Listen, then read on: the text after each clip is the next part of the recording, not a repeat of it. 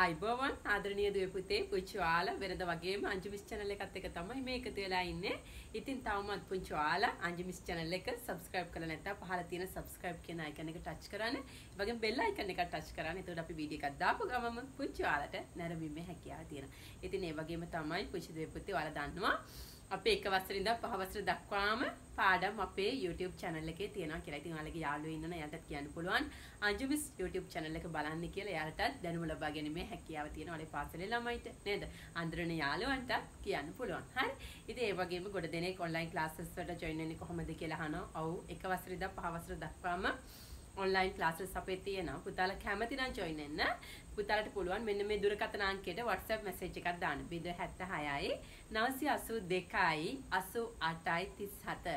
076යි 982යි 88යි 37 කියන අපේ මේ දුරකථන අංකයට පුංචි ඔයාලට පුළුවන් WhatsApp message එකක් දාන්න. එතකොට පුංචි ඔයාලට අපිත් එක්ක එකතු වෙන්න පුළුවන් classes වලට. හරි. ඉතින් එහෙනම් දැන් අපි මේ යන්නේ අපේ පාඩම වෙත. ඉතින් මේ පාඩම ගොඩක්ම වැදගත් වෙන එක වසර බබලට එක වසර විෂය නිර්දේශයේ තියෙන තේරවිලි තෝරන්න තමයි පුංචි ඔයාලත් එක්ක මේ සූදානම් වෙන්නේ. එහෙනම් චූටි පැටවුනේ බලන්න ඔයාලා මේ තේරවිලි ටික අහලා තියනවද තෝරලා තියනවද කියලා. එහෙනම් අපි පළවෙනි තේරවිල්ලට යමුද? හරි බලන්න බලන්න. සුදු පාටයි උසම උසයි හිස දල්වයි අඳුර නසයි. සුදු පාටයිලු උසම උසයිලු හිස දල්වනවලු අඳුර නසනවලු.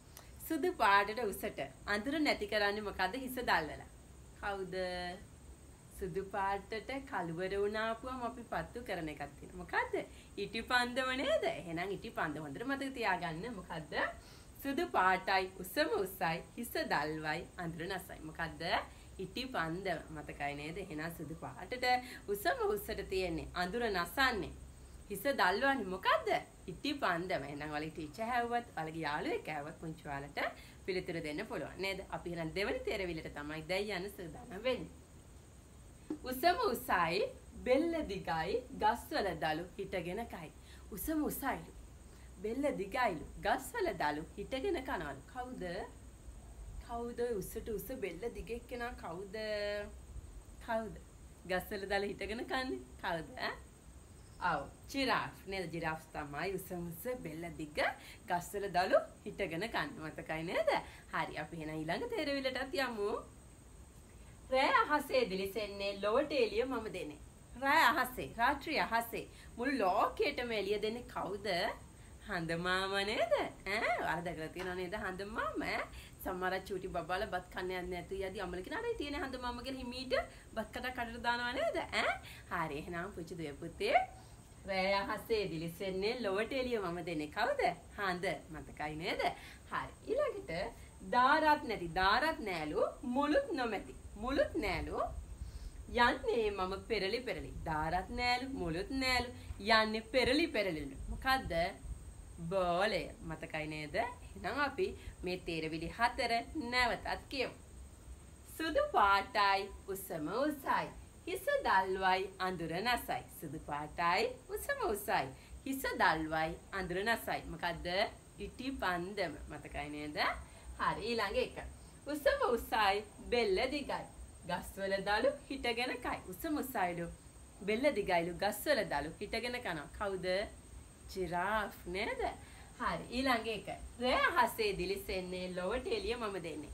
රෑ අහසේ දිලිසි දිලිසි ඉන්නවලු. මුළු ලෝකෙටම එළිය දෙන්නේ කවුද? හඳ. මතකයි නේද? හරි ඊළඟ එක.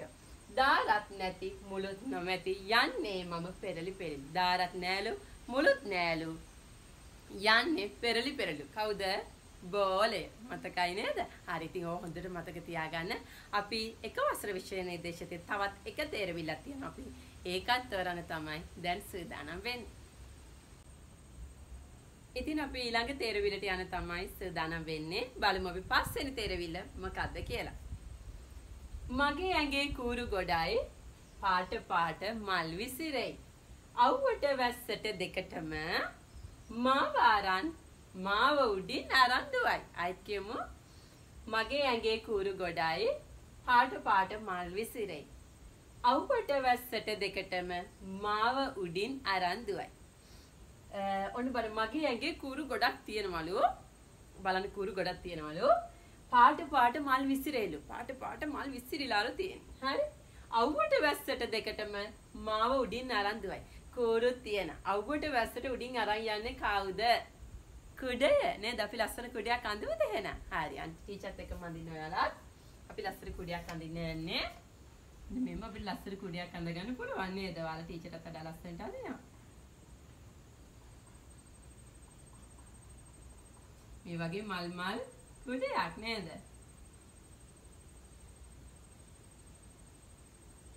ඔන්න මල් විසිරිලා තියෙනවා. ලස්සන මල් විසිරිලා අවුවට වැස්සට අරගෙන යන්නේ මොකක්ද එහෙනම්? මෙන්න මේ වගේ ලස්සන කුඩයක් නේද? මේකට වල චූටි නලා තියෙනවා සමහරක් අයගේ නේද? පිඹ පිඹ යනවා කට්ටිය නේද? හරි? ඉතින් අපි ලස්සට ඒ වගේ වත් අඳින්න පුළුවන්. හරි? හරි එහෙනම් මගේ ඇගේ කුරු ගොඩයි පාට පාට මල් විසිරේ. අවුවට වැස්සට දෙකටම මාව උඩින් අරන් දුවයි. මොකද්ද? කුඩය. එහෙනම් මගේ ඇගේ කූරු ගොඩක් තියනවලු. පාට පාට මල් විසිරිලා තියෙනවා. ඔන්න අපි පාට මල් විසිරිලා තියෙනවා. අවුවට වැස්සට දෙකටම උඩින් අරන් යන්නේ මොකද්ද එහෙනම්? කුඩය. හොඳට මතක තියාගන්න. ඉතින් පුංචි දුවේ පුතේ පාඩම අවසන් කරන්න කලින් පුංචි ඔයාලට ලස්සන ගීතයක් කියන්න යන්නේ. ඔයාලත් අංජු ටීචර්ත් එකම කියන්නේ. ඒ වගේම රංගනයේ යෙදෙන්නත් පුළුවන්. අපි කියමුද? පොඩි පොඩි සමනලයෝ මල් පොකුරට ආවෝ මල් පැණි බීලා එබිකම් කරලා හොරෙන්ම පැන දිව්වෝ කරමුද ඔයාලත් හා පොඩි පොඩි සමනලයෝ මල් පොකුරට ආවෝ මල් පැණි බීලා එබිකම් කරලා හොරෙන්ම පැන ඉතින් පුංචි දුවේ පුතේ අද පුංචි ඔයාලත් එක්ක අපි කතා කරේ තේරවිලි පාඩම. තේරවිලි පාඩමෙන් පස්සේ පුංචි ඔයාලට මම ලස්සන ගීතයකුත් කියලා දුන්නා. ඒ වගේම ගීතෙට රංගනය යෙදෙන්නේ කොහොමද කියලාත් පුංචි ඔයාලට කියලා දුන්නා. ඉතින් මේක හොඳට මතක තියාගන්න තේරවිලි පහ හොඳට මතක තියාගන්න. ඒ වගේම තේරවිලි පහට අදාළව ලස්සනට ඔයාලට චිත්‍ර අඳින්න පුළුවන්. හොඳට මතක හිටිනා.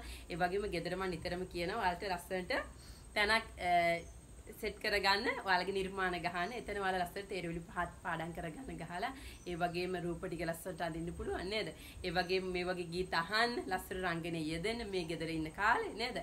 එතකොට ඒකත් ඔයාලගේ අධ්‍යාපනයට හොඳ දෙයක් වෙනවා නේද? ඉස්කෝලේ ගියත් එතකොට ඕනෑම අවස්ථාවක ඉදිරියට ඇවිල්ලා ගීතයක් ගායනා කරන්න පුළුවන් වෙනවා. රංගනයේ යෙදෙන්න පුළුවන් වෙනවා නේද? ඒකත් කොච්චර හොඳද?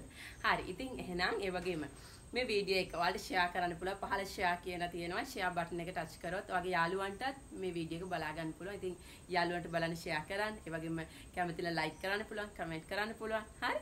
ඒ වගේම තව ඔයාලගේ යාළුවන්ටත් කියන්න අංජුමිස් channel එක බලන්න කියලා එයාලටත්. එතකොට ඔයාලා වගේ දැනුම ලබා ගැනීම හැකියාව තියෙනවා. ඉතින් එහෙනම් අංජු ටීචර් අදට පුංචි ඔයාලගේ සමුගන්නයි සූදානම් වෙන්නේ. බොහොම ස්තුතියි අපිත් එක්ක එකතු වුණාට. එහෙනම් ඔයාලා හැමෝටම සුබ දවසක්. අයිබෝවන්.